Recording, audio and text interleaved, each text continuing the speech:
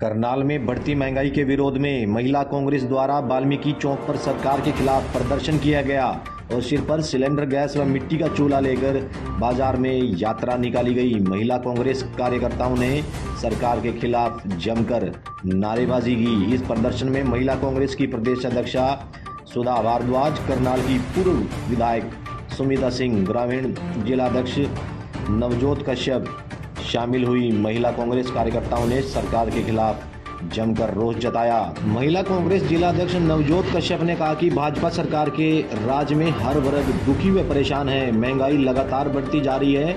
सरकार महँगाई पर लगाम लगाने में नाकाम साबित हो रही है। पेट्रोल, डीजल व गैस के दाम बढ़ाकर सरकार ने आम आदमी की जेब पर डाका डाला है। महँगाई के कारण महिलाओं की रसोई का बजट बिगड़ रहा है। करनाल से एम एस निर्मल की रिपोर्ट।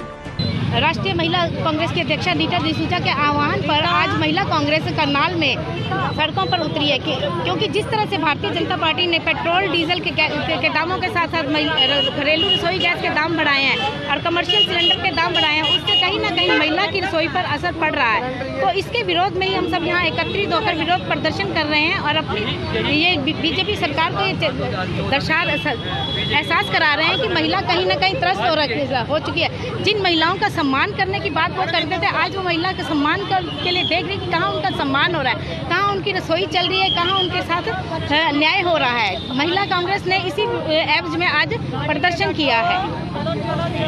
डॉक्टर नवजोत कश्यप। आज इतनी महँगाई बढ़ गई है कि एक आम आदमी के लिए चाहे वो लोअर मिडिल क्लास है गरीब आदमी है मिडिल क्लास है उन सब के लिए आज जो है दो वक्त की जो रोटी है वो भी बहुत मुश्किल हो गई है। बच्चों को स्कूल में पढ़ाना मुश्किल हो गया है। और अगर कोई घर में बीमार हो जाता है तो उसका पूरा बजट हिल जाता है। हर हर प्रकार से जो है महँगाई बहुत है। तो क्या किया गया आज कांग्रेस द्वारा? आज महिला कांग्रेस का कार्यक्रम है। महिला कांग्रेस ने महँगाई के खिलाफ जो है आवाज़ उठाई है।